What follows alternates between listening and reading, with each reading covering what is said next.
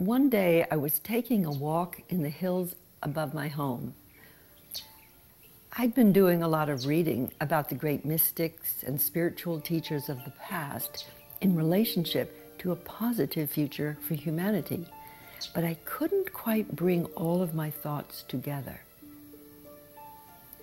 Frustrated, I suddenly stopped and posed a question to the universe. What is humanity's new story? The universe responded. I had an expanded reality experience. I pierced the blue cocoon of Earth as our astronauts had done and found myself floating weightlessly in space.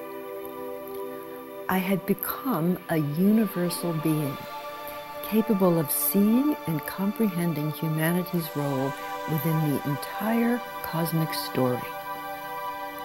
In a flash, I was catapulted into the future, and I could see a few frames ahead in the movie of creation.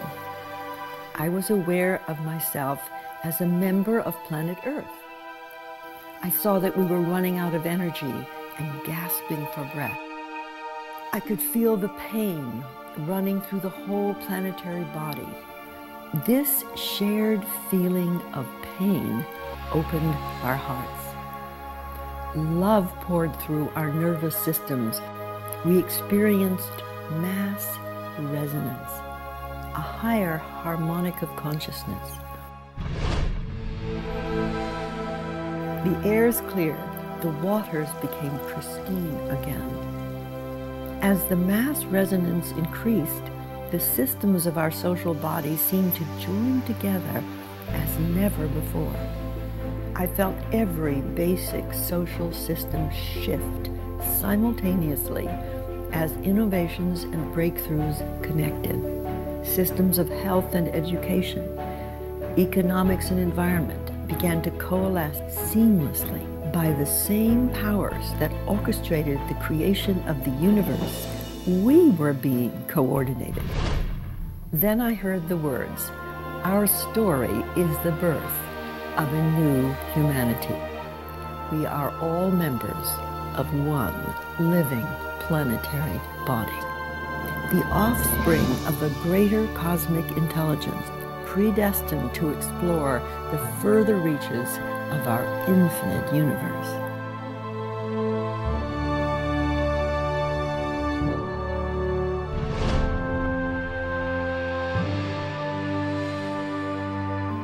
That was 40 years ago.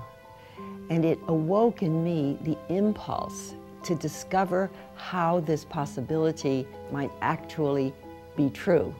So I began to research what do we know that makes it possible for us to be connected as one body, to be born towards our next stage of evolution.